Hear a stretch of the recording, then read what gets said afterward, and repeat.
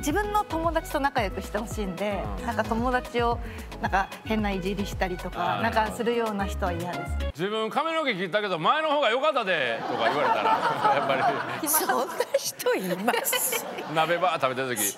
自分豆腐2個目やでそれ。俺一人1個やから。絶対嫌だ。やっぱ辛い絶対嫌です、嫌です。